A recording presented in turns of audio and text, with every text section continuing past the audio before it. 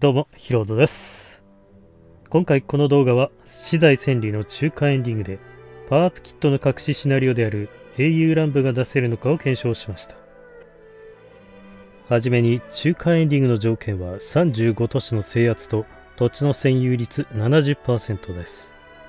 初期で27都市を保有しているので、8都市獲得すれば OK です。空白地の7つのうち5つは初動出陣で獲得できますので残り3つとなります。そうそう。すまいそして核を再配武将にしておけば被害が少なく城を取れます。ただ核の場合城に対して混乱は仕掛けられないので注意が必要です。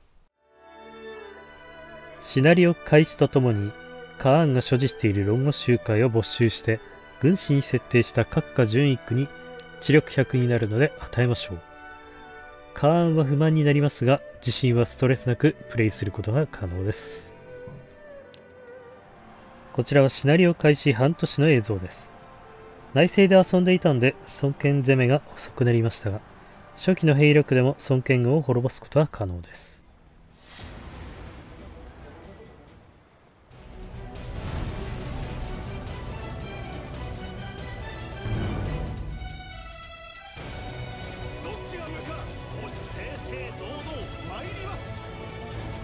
あ相手が悪かった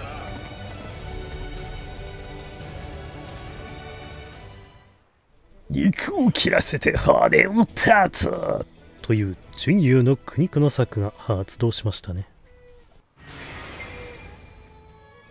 さあ時間は飛んでこちらはシナリオ開始から1年後です。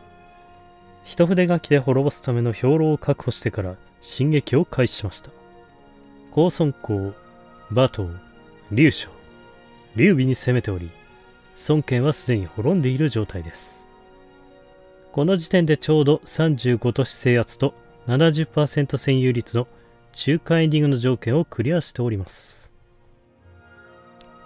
では中間エンディングを発動します。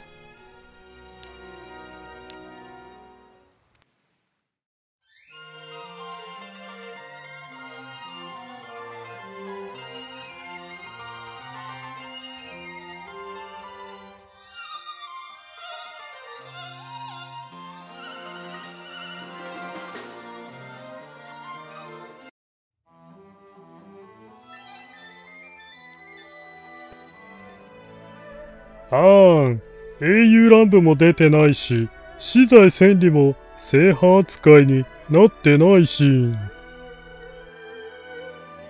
それにしても中華エンディングの存在価値って何なんでしょうね。